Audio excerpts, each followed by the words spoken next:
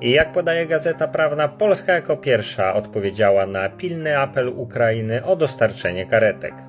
Polska w ciągu doby od ogłoszenia apelu dostarczyła 26 karetek do Kijowa. W Niemczech ma powstać osiedle mieszkaniowe w miejscu byłego obozu koncentracyjnego. Jak widać, Niemcy są pragmatyczni. Nie dość, że po jakimś czasie wszyscy zapomną, że w Niemczech stały obozy koncentracyjne, to jeszcze da się na tym zarobić. A w Polsce pozostaną obozy koncentracyjne. Wiadomo. Potem będą mówić, że Polacy je budowali. Przecież jakby je budowali Niemcy, to by w Niemczech były. Łukaszenka ogłosił, że rozpoczęło się przemieszczanie głowic jądrowych z Rosji na Białoruś. Szef ukraińskiego parlamentu wystąpił w polskim Sejmie i odniósł się do Wołynia. Powiedział, że wspólnie odnajdziemy prawdę i dokonamy sprawiedliwej oceny, zaakceptujemy prawdę bez względu na to, jak bolesna może ona być. W jednym z wrocławskich klubów panie z głębokim dekoltem całą noc piją zupełnie za free.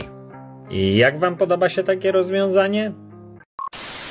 Nagroda dla prezesa NBP Adama Glapińskiego za konsekwentne dbanie o wartość polskiego pieniądza. Nagrodę ufundowała telewizja Republika w kategorii Ekonomia i Biznes. Ja nie chcę być gorszy i też dostałem nagrodę za najlepszą fryzurę na TikToku i w ogóle jestem fajny i dbam o różne sprawy. A jak tam wasze pierwsze komunie? Też się tak udały? Wraca sprawa obowiązkowych relokacji migrantów w Unii Europejskiej.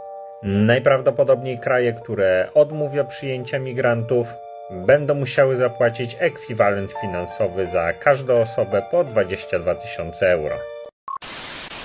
Dzięki nowym zasadom wreszcie widzimy, czy to jest prawdziwa promocja. Najniższa cena w ciągu ostatnich 30 dni 21,99, a teraz przekreślone 31,99 i cena 25,49 jako promocja. Czujesz klimat? Władze Lublina chcą wprowadzić język ukraiński jako dodatkowy język nowożytny.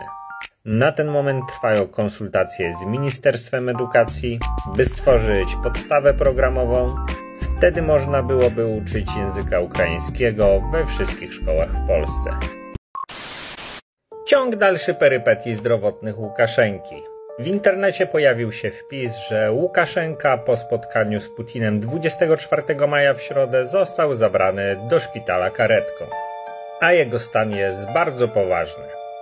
To już drugie spotkanie z Putinem w ostatnim czasie, po którym Łukaszenka zabierany jest karetką do szpitala.